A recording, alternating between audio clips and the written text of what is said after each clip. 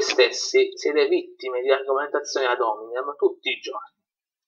Frasi del tipo siete complottisti, paranoici, sciocchimisti, cattolici, conservatori, tradizionalisti, reazionari, retrogradi, eccetera, eccetera, quindi le vostre tesi sono errate, sono argomentazioni ad hominem. O in particolar modo, capitato anche a me sentirmi dire questa cosa. Se credi nel signoraggio allora sei fascista.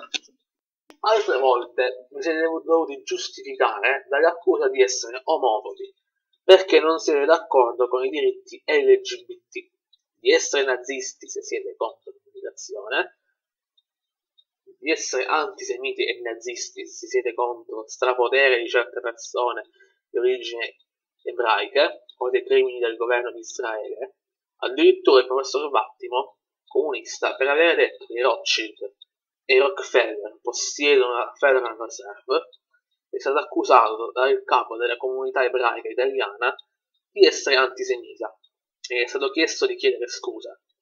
La stessa cosa gli è successa, più o meno, quando ha detto mezza parola contro Israele.